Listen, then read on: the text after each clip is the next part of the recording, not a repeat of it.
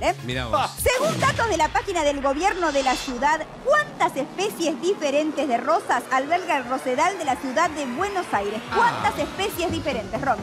1500. Menos, 200. menos, 127. menos, 100. menos, Ah. Ujú. 70. más, 90.